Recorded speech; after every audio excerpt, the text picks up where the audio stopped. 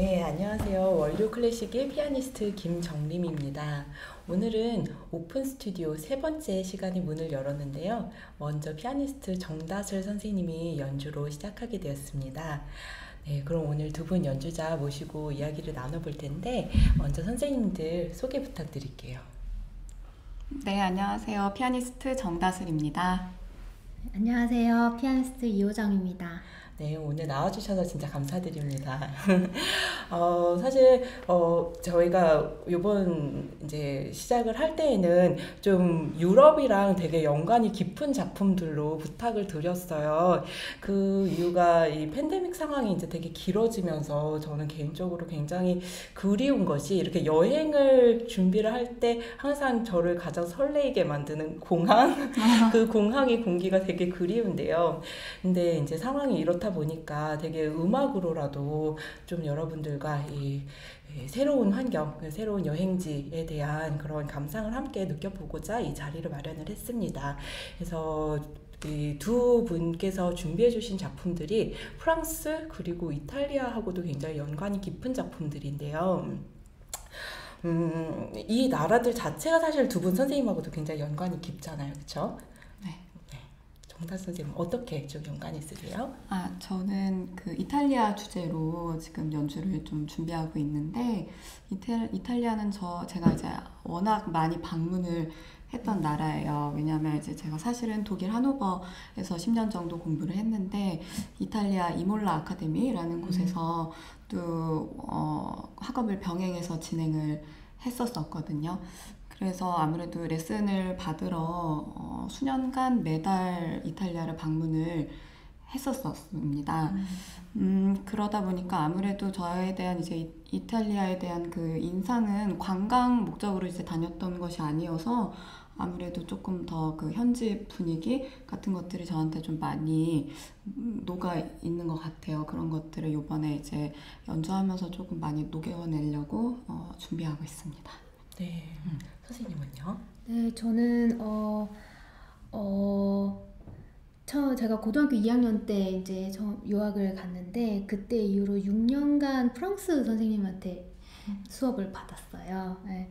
그런데 그분이 워낙에 바쁜 이제 연주 스케줄이 있으시다 보니까 제가 파리로 가야 되는 경우가 있었어요. 그분이 이제 파리에 사셨는데, 그래서 어, 자주 가기도 했었고, 그리고 좀 감사하게도 이제 프랑스에서 연주 활동을 좀 한 적이 있어요. 그래서 어, 저기 프로방스나 아니면 저 릴 같은 그런 좀 작고 예쁘고 아름다운 자연이 있는 그런 어, 도시들을 좀 여러 군데 가본 적이 있어요. 그래서 이렇게 이상하게 드뷔시나 라벨이나 이렇게 프랑스 작곡가의 곡을 이제 연습이나 연주나 뭐 이렇게 듣기나 이렇게 하면은 그때 그런 기억들이 너무나도 이리 나는 새록새록 나더라고요. 그래서 아, 나한테 프랑스는 정말 기분 좋은 곳이었구나, 좋은 기억이구나, 그런 생각을 했습니다. 네, 맞아요. 사실 그곳에서의 그런 깊은 경험이 또 그와 관련된 음악들을 해석하고 만들고 연주할 때 굉장히 큰 영감이 원천이 될 것 같아요. 어때요? 네, 어, 정말 그렇습니다.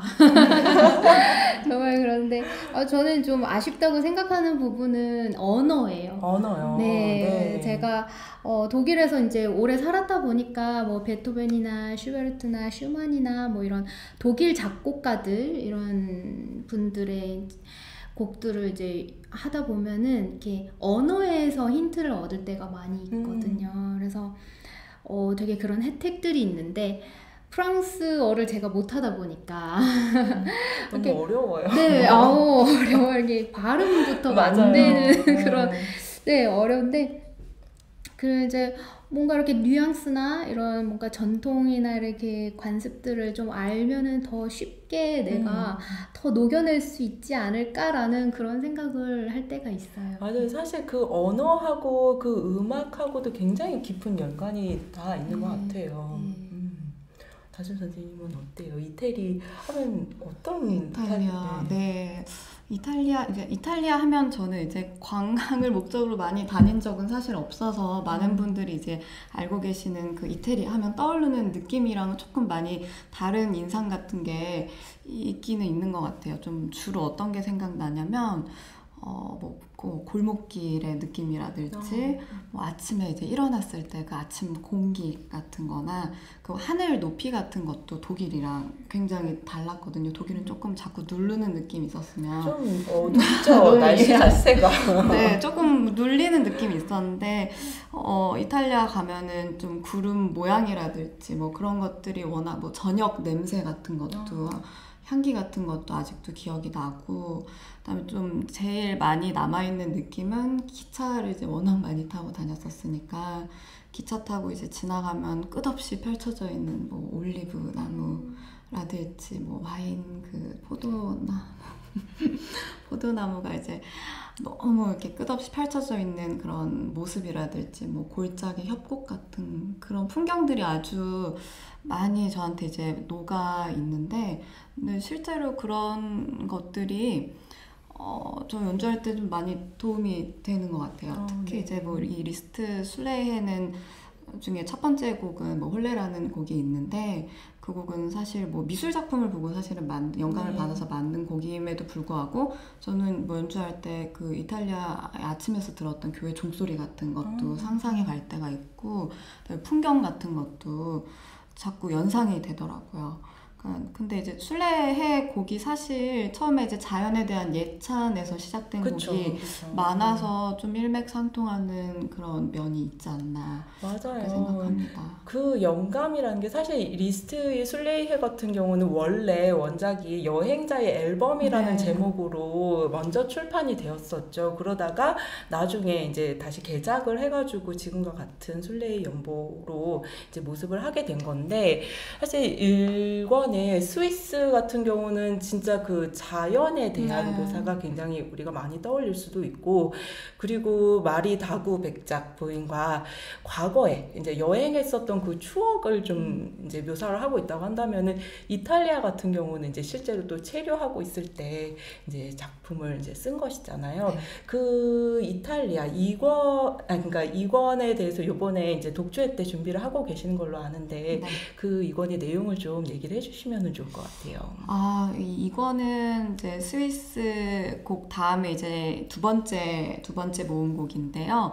어, 총 일곱 가지 곡으로 음. 어, 구성되어 있습니다. 첫 번째 곡은 홀레라는 곡인데 어, 아까 말씀드렸다시피 이제 그림을 보고 영감을 받은 거예요.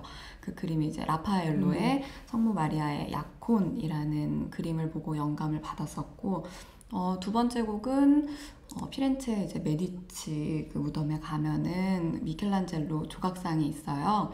그 조각상을 보고 또 영감을 받아서 두 번째 곡은 생각하는 사람이라는 곡이고요. 뭐 이런 식으로 이제 르네상스 시대에 예술 작품을 보고 영감을 받아서 쓴 곡들이 이제 일곱 가지가 주르륵 있는데 제가 오늘 이제 연주하는 그 페트라르카의 소네토는 이 페트라르카가 시인 이름 이름입니다. 14세기 때 굉장히 유명했던 이제 시인인데 그 시인이 만들었던 이 시 가사에서 이제 따와서 이제 음악을 만든 거죠. 그래서 사실은 이게 하이 테너를 위해서 처음에는 어, 음악을 만들었다가 피아노 곡으로 조금 또 편곡을 해서 만든 곡인데 그러니까 그 가사가 보면 참 구구절절해요. 이게 음. 어, 르네상스 시대여서 그런지 모르겠지만 조금 사랑에 대한 그런 어, 가사가 줄을 이루고 있는데 첫 번째 곡 제가 방금 쳤던 곡은 처음에 이제 사랑에 빠졌을 때 그 뭐 숨이 멎을 것 같고 뭐 세상이 다 아름다워 보이고 싱그럽고 뭐 이런 느낌을 표현한 뭐 제목이 축복 축복이어라 이런 느낌입니다. 어 그렇다면은 이제 조금 이따 연주할 두 번째 곡은 이 사랑이 이제 이루어지지 않은 거예요. 그래갖고 이제 조금 막 뭐 마음이 끊어질 것 같고 심장이 뭐 찢어질 것 같고 그 가사 내용을 보면 고통을 먹는다 막 이런 가사가 나오거든요. 그러니까 이제 너무 고통스러워서 그, 그 절규하는 그런 느낌의 곡이고 세 번째 곡은 어 이제 사랑이 이루어지지 않았지만 저 절대적인 그 사랑의 대상을 좀 인정하고 찬사하고 어쩔 수 없이 그냥 이 상황은 받아들이지만 네. 당신은 너무 아름답다 뭐 이런 느낌의 곡이에요 네. 가사가 그래서 뭐 그런 식으로 이제 문학 작품에서 굉장히 영감을 받은 곡을 지금 오늘 세 곡을 준비를. 했습니다. 또 어떻게 보면은 이 이권이 가장 좀 야심작이라고도 할 수 있는 이제 단테를 읽고 이것도 문학 작품에서 이제 이- 이렇게 영감을 받은 건데 사실 이 단테를 읽고 같은 경우는 또 환상 그러니까 소나타풍의 환상곡이라고 하는 부제가 있기 때문에 저희들이 되게 그냥 쉽게 줄여가지고 단테 소나타 뭐. 이렇게 얘기를 많이 하고는 해요. 근데 되게 오해 소지가 많이 붙을 수도 있는 네. 그런 표현인 것 같긴 해요.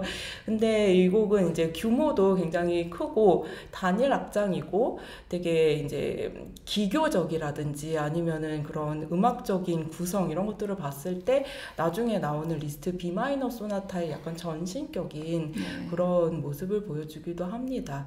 그리고 또 살바토레 로사이 노래 같은 경우는 또삼 이, 번, 네, 이태리의 대중 가요를 대중가요, 네, 네. 편곡을 한 작품이죠. 그리고 이 이권에서는 또 별책으로 베네치아 와 나폴리라고 하는 또세 곡이 어, 붙어 있는데 독주회 때는 그냥 본편만 이제 네, 네. 연주를 하시는 거죠. 네, 네. 네. 마음은 하고 싶었으나 네 일단 본편 네. 음, 그렇군요. 그러면은 오늘 이제 또 이어서 다주 선생님이 또 다른 소네토를 또 한번 들어보도록 하겠습니다. 네.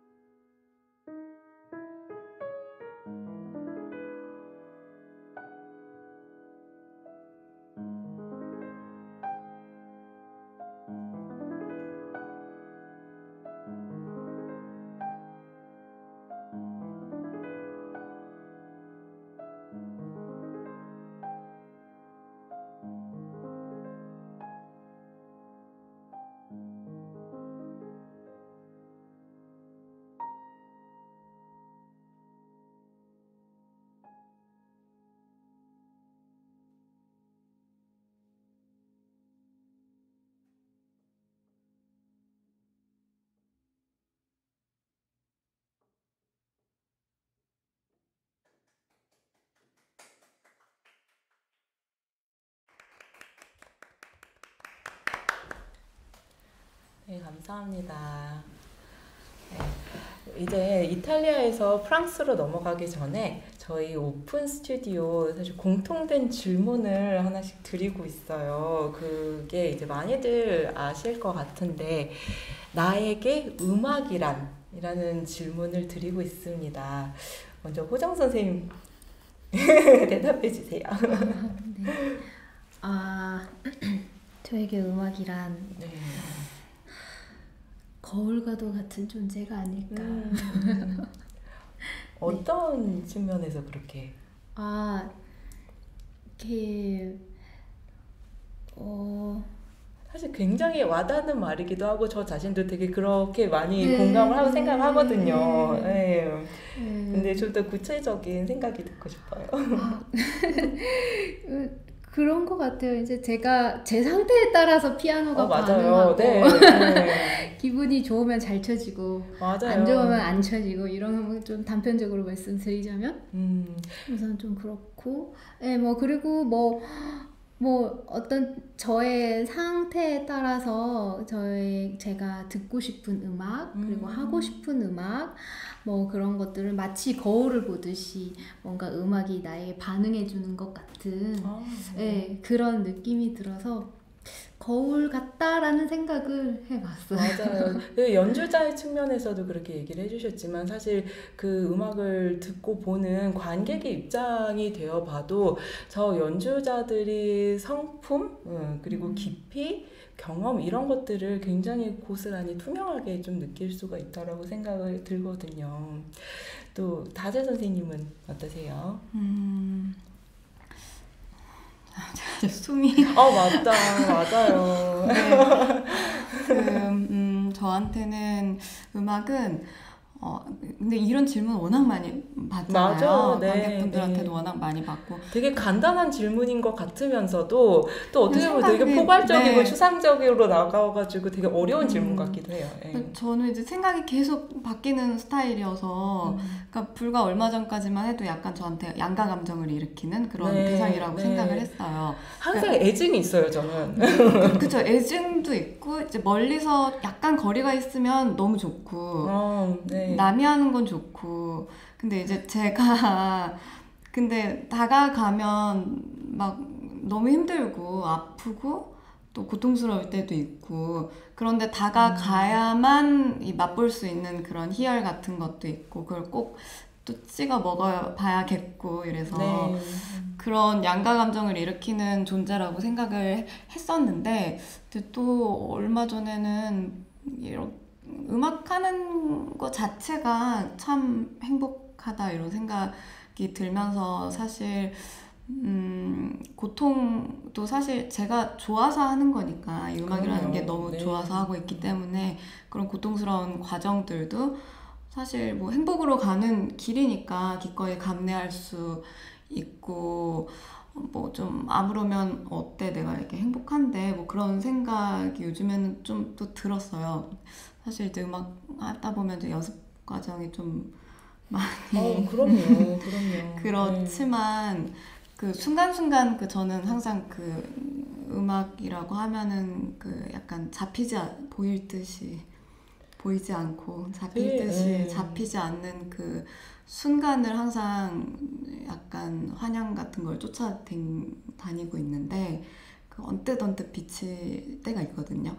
그 순간들이 네. 그 저는 이제 친구랑 얘기할 때 그 문이 열린다고 음. 표현을 하는데 그 문이 열리는 순간에 그 희열을 맛을 봤더니 그 약간 마약을 해본 적은 없지만 그 중독 잠시 네. 상상을 해보자면. 네, 상상을 해보자면 그 너무 그 너무 맛보고 싶은 그런 맛이었었기 때문에 어, 항상 좀 갈구하게 되는 그래서 이제 그런 연습 과정 같은 것도 기꺼이 너무 좋아하고 행복하고 그런 그런 과정인 것 같아요. 근데 저는 항상 너무 많이 생각이 바뀌어서 내일 물어보시면 또 다른 얘기 할 수도 아, 있어요. 그럼요. 네, 네. 맞아요.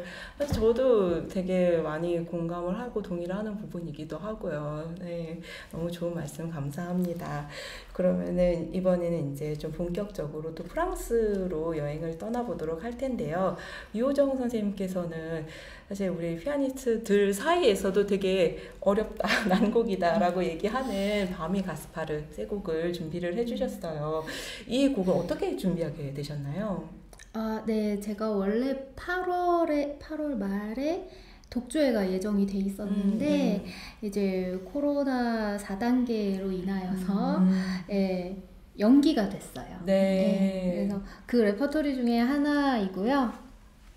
어, 어, 앞서 말씀하셨듯이 이렇게 요즘 코로나 팬데믹 이후로 이렇게 친구들이랑 이렇게 얘기를 하다 보면은 여행 가고 싶다 어. 뭐 이런 얘기들을 많이 하잖아요. 예, 그래서 아 정말 내가 가고 싶은 그곳 프랑스 어, 아 프랑스로 음악으로나마 한번 여행을 가보자 네. 라는 마음으로 어, 사실 드뷔시 베르가마스크와 어, 메시앙 곡도 이제 준비는 했었는데 네, 네. 네, 그 중에 라벨을 네, 준비했습니다. 네, 사실 요즘 공연하는 것 자체도 굉장히 또 어렵고 팬데믹 상황이 굉장히 길어지면서 연주자들이나 또 연주를 사랑해 주시는 관객분들 모두 굉장히 어려운 상황에 있는데 그래도 이 월요 클래식 통해서 그런 갈증이 조금이라도 좀 해소가 될 수 있으면 좋겠습니다. 아까 다슬 선생님께서 준비해 주신 그 소네토, 리스트 소네토와 마찬가지로 이 라벨의 밤의 가스파르도 시를 인용을 했잖아요. 어떤 시인지 좀 소개 를 해주시면 좋을 것 같아요. 네.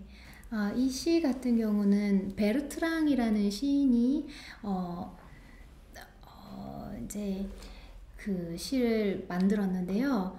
어, 상당히 옛날 1800년대에 지어진 시예요. 네. 되게 오래된 시, 어, 시인데 사실은 거의 뭐 세상의 빛을 못 보고 있다가 그 시인 자체도 별로 유명하지, 않았다고 않았죠. 해요. 네. 네.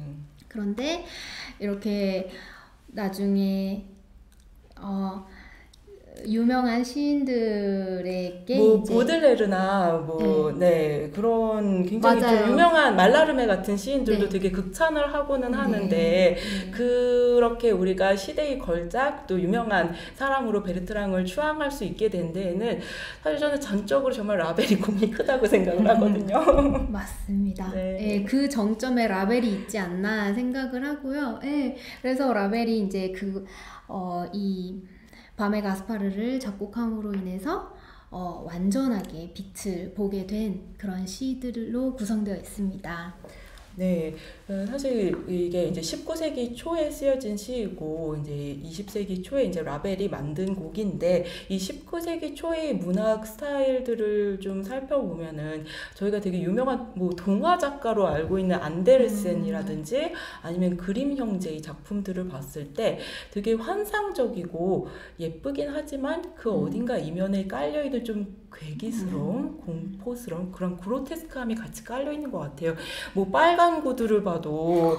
이렇게 뭐 발목을 자른다든지 아니면 뭐 헨젤과 그르텔 같은 데서도 이렇게 아이들을 뭐 솥에 삶아 놓고 뭐 이렇게 끓여 먹는다 이런 정말 애들이 볼 수 없을 만한 수위의 네, 없는. 그런 동화들인데 이 어, 인어공주라고 하는 작품도 이 온딘과 마찬가지로 그 독일의 낭만 시인 푸케의 음. 작품 온- 운디네라고 하는 작품에서 영향을 받았죠. 그래서 인어공주나 이 옹딘이나 그 흐름과 맥락을 완전히 같이 하고 있다고 알고 있어요. 근데 이제 저희가 지난번 때 어, 드뷔시 옹딘을 소개를 시켜드렸었는데 드뷔시 같은 경우는 표현법의 라벨이랑 이제 되게 많이 달라가지고 같은 이름을 사용을 하고 있다고는 하지만 굉장히 좀 서정적이고 또 어떻게 보면 기교적인 측면에서도 가장 좀 담백하게 좀 표현을 했다고 할 수가 있는데 라벨 같은 경우는 좀 어떻게 느껴지세요, 선생님은? 어, 옹딘. 네, 같은 제목을 갖고 있지만 네. 오, 우선은 너무 좀 비현실적이고 비인간적으로 좀 어렵죠. 네. 이거를 이렇게 실현 가능하다고 생각하고 이렇게 썼을까? 음. 라고 처음에는 생각을 했었어요. 근데 어, 지금도 그 생각은 변함이 없고요. 맞아요. 네. 사실 악보 첫 장을 보기만 해도 그런 생각이 많이 네, 첫. 음부, 네, 첫, 네, 첫 줄부터 네. 정말 그런 생각이 드는데 아무래도 이제 라벨 같은 경우는 스페인의 영향도 많이 받다 네, 보니까 그런 스페인의 그런 색채 음. 그런 것들이 조금 더 가미가 돼서 어, 좀 다른 분위기를 자아내지 않나 생각이 듭니다. 맞아요. 그 음악에서 이제 저희들이 이제 해석을 하고 연주를 할 때 그 나라에 대한 영감이 원천 굉장히 있잖아요. 그러면은 이탈리아적 특성, 뭐 프랑스적 특성 이런 것들이 어떻게 음악적으로 좀 어, 도움이 되는 부분들이 있나요? 그 이미지, 그 나라가 주는 이미지가 저는 이탈리아 하면은 되게 지중해 햇살, 굉장히 좀 음. 자결하는 듯한 아주 뜨거운 그런 이미지가 있고 프랑스 하면은 뭐 약간 편견일 수도 있지만 되게 고고하고 또 간결하고 심플하고 세련되고 또 이런 이미지가 있거든요. 선생님들한테는 어떤 이미지가 있으세요?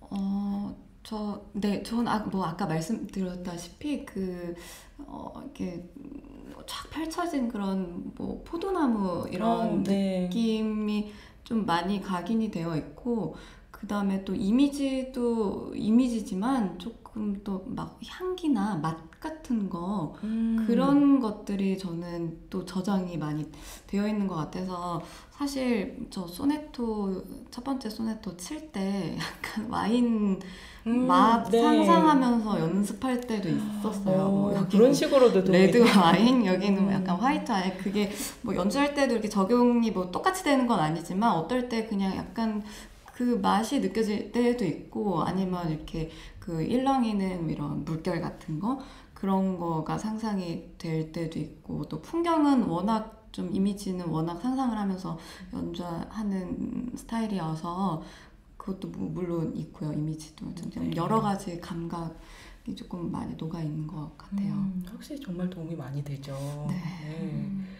맞아요. 그 밤의 가스파르 같은 경우 이제 총 세 곡으로 구성이 되어 있는데, 근데 이제 각각 제목이 붙어 있잖아요. 이 제목들을 토대로 선생님께서 또 좀 나라의 이미지 이런 거랑 또 별개로 또 이렇게 좀 소개를 해주시면 좋을 것 같아요. 아, 네. 음. 어, 우선 곡 소개부터 이제 드리면은 어, 옹디는 잘 아시다시피 슬픈 전설을 가진 그런 물에 사는 요정입니다. 이 요정이 어, 인간 남자를 유혹하려고 막 꼬시는 음. 그런 장면이 이제 묘사가 되어 있어요. 그래서 어, 정말 자신이 뽐낼 수 있는 모든 온갖 아름다운 표현들을 다 쓰면서 그렇게 유혹을 하고 있는데 마지막 부분이 그 유혹을 성공하는 것일까 아닐까 그런 음. 뭔가 이렇게 나오는데 결과는 이제 해피엔딩이 아니죠. 아니죠. 네, 아닙니다. 그래서 어, 남자 자기는 어, 남자는 이렇게 사랑하는 인간 여자가 있다. 그래 그러면서 그 말을 듣고 물의 요정이 막 웃다가 싹 사라져 버립니다. 네. 그리고 이제 두 번째 곡은 교수대인데요. 어, 제목에서도 아실 수 있듯이 이제 죽음과 뭔가 스산한 분위기를 이제 어, 암시를 하는데요. 처음부터 끝까지 멀리서부터 이렇게 종소리가 들려요. 예, 그것이 이제 이 곡의 아주 큰 특징이라고 할 수 있어요. 근데 이 시가 정말 좀 무섭죠. 무서워요. 네. 이 묘사가 너무 이게 기괴. 예, 네. 기괴해서 빨간 핏빛 뭐 네, 뭐 음. 머리가 벗겨졌는데 거기에 뭐 맞아요. 피가 이렇게 흐르고 음. 있고 그리고 뭐 목에 거미줄이 막 이렇게 음. 있고 그런 것들이 이제 묘사가 되어 있습니다. 그리고 이제 마지막으로 스카르보. 스카르보는 이제 그 또한 요정 이름인데요. 음. 요정인데 되게 좀 장난기 많고 착하진 않은 것 네. 같아요. 좀 사람 괴롭히려고 있는 그런 우리나라의 그런 요정의 이미지와는 많이 다른 그런 요정인데요. 여기에서도 이제 막 그런 장면이 나와요. 뭐 자려고 하는데 갑자기 저 커튼 뒤에서 막 음. 긁는 소리가 들린다. 아, 어, 도대체 몇 번이나 들었던가, 막 이러면서 네. 예, 시인이 그렇게 얘기를 하고 그리고 막 집안을 돌아다닌대요. 막 정신없이 돌아다니고 어, 그런 것들이 막 묘사가 되고 마지막에는 그막 막 집안에서 돌아다니던 요정이 어, 엄청나게 크게 변했다가 마지막에는 확 사라져 버린다. 뭐 그런 시입니다. 맞아요. 그 마지막에 사라지는 표현이나 아까 옹딘에서 나왔었던 사실 그 옹딘의 그 굉장히 뒷부분에 나오는 부분인데 사실 그 웃음이 되게 좀 실소잖아요. 그렇죠? 이렇게 좀 광기가 어려 있는 실소처럼 느껴지는데 그 표현에 나오는 굉장히 좀 끌어오르는 듯한 아르페지오가 저는 그 라벨 표현이 되게 압도적인 부분이라고 생각을 하거든요. 그래서 이 곡 전반에 깔려 있는 그런 그로테스크함을 굉장히 잘 나타내고 있다라고 생각이 들어요. 되게 좀 농담이긴 하지만 밤에 잘 때 여름에 이렇게 모기 소리 들릴 때 있잖아요. 항상 아, 스카르 본가 아, 하고는 하거든요.